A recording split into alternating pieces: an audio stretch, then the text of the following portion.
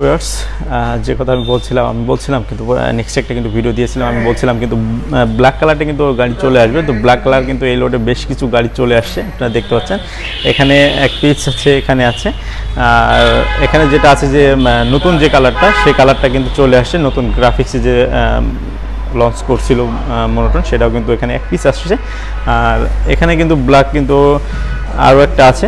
তো এখানে ব্ল্যাক আছে, ওখানে ব্লু কালারটা আছে। এখানে যে রেড কালারটা যেটা বলেন, সেটা কিন্তু আছে। তো এই লটে কিন্তু শুধু মনোটনই আসছে ব্ল্যাক আর সাদা কালারটা যেটা বলে, আর ব্লু কালারগুলো যেগুলো আছে সেগুলোই।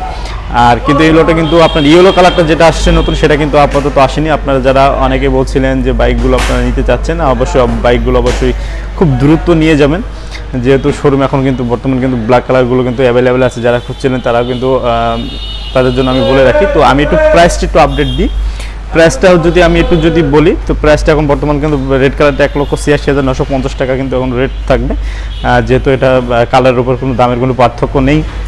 আর যেটা নিউ মনোটন যেটা আছে, সেটা কিন্তু বর্তমান এখন বর্তমান এখন রেট থাকবে এক লক্ষ চুরানব্বই হাজার নশো পঞ্চাশ টাকা।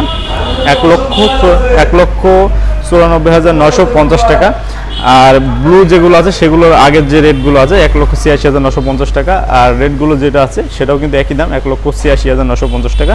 শুধু নতুন যে কালারগুলো আসছে যেটা মনোটন যেটা লঞ্চ করছে এই ঈদের ঈদের মধ্যেই বা ঈদের আগেই, তো সেই কালারগুলো একটু একটু দামটা একটু বেশি যেহেতু। তো ওই দিকে কিন্তু আরেকটা ব্লকও কিন্তু আছে, আপনারা দেখতে পাচ্ছেন, দুই দিক সব দিকেই আছে। তো মোটামুটি কিন্তু এই কিছু সংখ্যক গাড়ি কিন্তু চলে আসছে। শুধু মনোটনই আসছে এবার।